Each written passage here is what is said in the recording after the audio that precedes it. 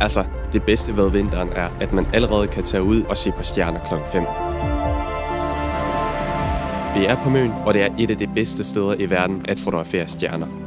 Du har denne her meget mørke himmel og det dramatiske landskab, og så er her bare den der dybe ro.